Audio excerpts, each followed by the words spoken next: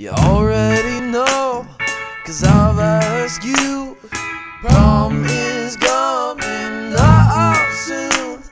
Apparently, guys are supposed to find clever ways to ask a girl to be their date. So here is mine to you.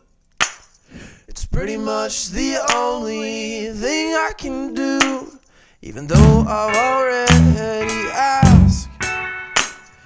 You deserve a way with a little more pizzazz, so here it is officially.